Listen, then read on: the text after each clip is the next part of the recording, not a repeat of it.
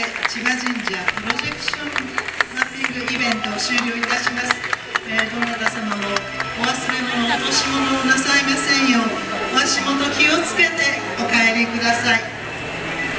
なお明日は千葉神社の妙見様のおみこしがこちらへ戻ってくる宮入りの日です。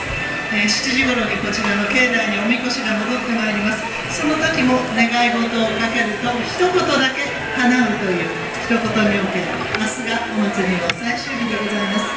で本日の千葉神社は9時で門が閉まります。本日は午後9時で閉門となりますので皆様それまでにご退出いただきますようにご協力をお願いいたします。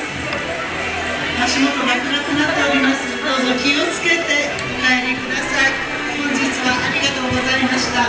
そしてありがとうございました。